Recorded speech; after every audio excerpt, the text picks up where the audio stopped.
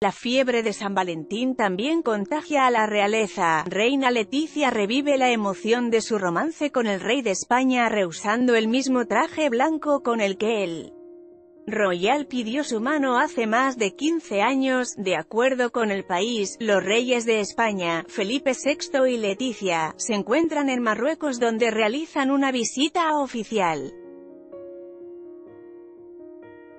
y ha sido durante su presencia en dicho país que la experiodista ha causado revuelo por su atuendo. Revelan que Peña Nieto usa tacones para esta a la altura de su nueva novia de acuerdo con el país 15 años y medio después de ponerse una de sus prendas más icónicas, la reina Leticia ha vuelto a desempolvar el traje blanco de dos piezas de Armani con el que se presentó al mundo en su pedida de mano.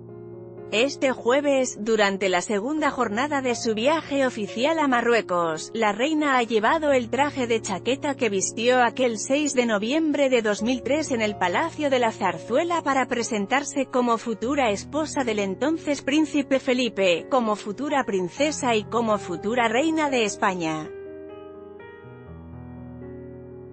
La reina ha hecho dos visitas con el traje, una con velo y otra sin él.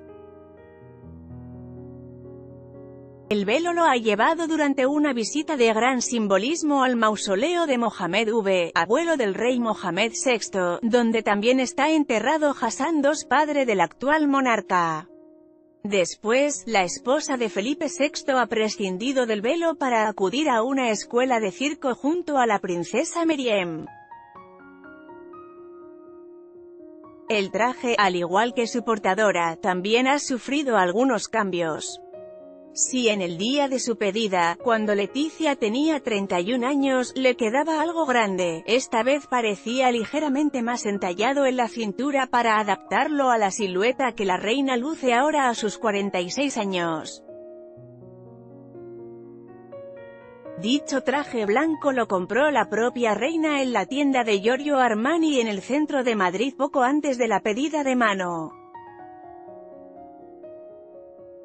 El acto tuvo que adelantarse porque la relación entre el príncipe y la periodista se filtró a la prensa, y Leticia optó por comprarse ese traje para la muy recordada presentación. Se burlan de Carmelita Salinas por comprar dos zapatos izquierdos a Anne.